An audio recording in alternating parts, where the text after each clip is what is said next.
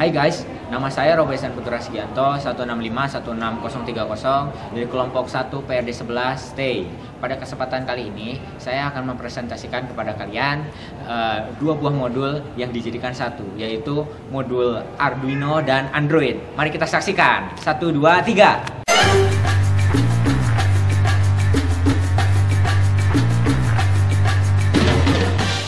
Pada modul kali ini, kita akan menggabungkan dua buah alat yaitu Arduino dan Android.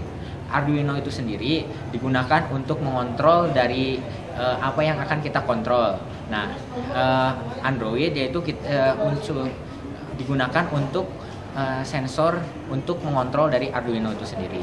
Nah, uh, pada modul kali ini kita akan membuat sebuah prototipe dari uh, smart house yang berupa otomatisasi lampu Nah, bagaimana e, cara kerjanya? Sebagai e, pembuka, kita eh, saya akan menjelaskan sebagian yaitu e, ketika kita menekan tombol on pada Android nan, e, nanti pada LED akan menyala. Jika kita menekan tombol off, maka LED akan mati.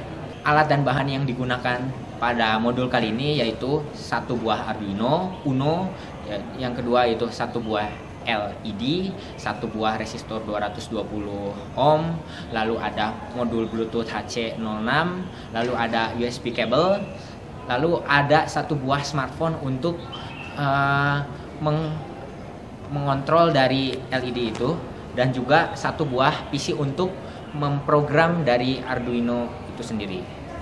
Metode pembuatan dari modul kali ini yaitu sama seperti modul-modul sebelumnya. Pertama kita menganalisis dari video yang ada pada saat uh, eh, PRD, lalu kita mencari sumber-sumber yang berkaitan tentang itu, lalu kita merepresentasikan uh, dengan bentuk perakitan terhadap Arduino dan pengkodean terhadap Arduino, lalu kita yang terakhir adalah pengambilan data dan uh, visualisasi menjalankan program dari Smart House ini kita harus mengkode di dua program yaitu pertama di pada aplikasi processing yang kedua adalah pada aplikasi Arduino IDE.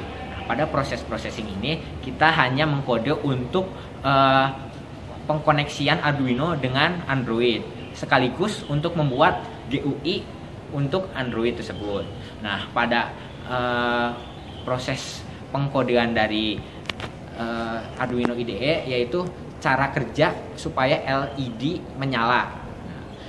Uh, nah, setelah kita mengkode dari kedua buah aplikasi itu, lalu pertama pertama-tama untuk menjalankannya kita harus uh, menyalakan Bluetooth di Android yang kita miliki yang sudah ada aplikasi dari LED penyala LED tersebut. Lalu uh, kita uh, menyalakan Arduino uh, rangkaian Arduino sehingga LED siap untuk dinyalakan. Lalu pada saat kita menekan tombol on, maka LED akan menyala dan jika kita menekan tombol off, maka LED akan uh, mati.